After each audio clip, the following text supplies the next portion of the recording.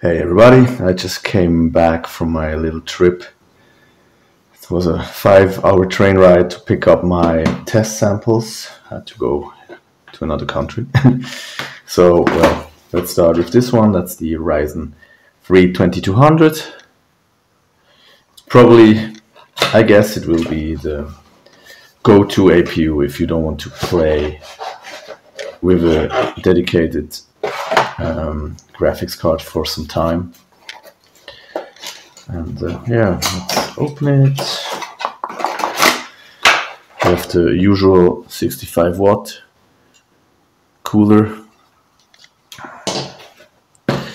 And um, oh, this little CPU.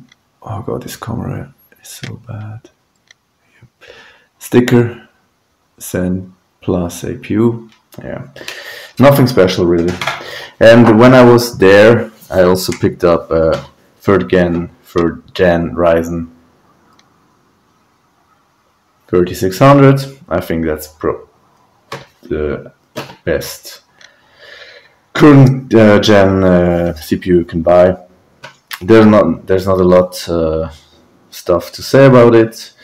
Although I have to say I was not really happy with the reviews. I mean, the day one reviews we got uh, yesterday they were also rushed I, even respectable websites they used an old windows version some used buggy uh, bioses and then on the other hand some uh, let uh, an intel core i9 9900k run with ddr 2666 which is also stupid so when i test this one i will at least try to avoid those mistakes, quote unquote.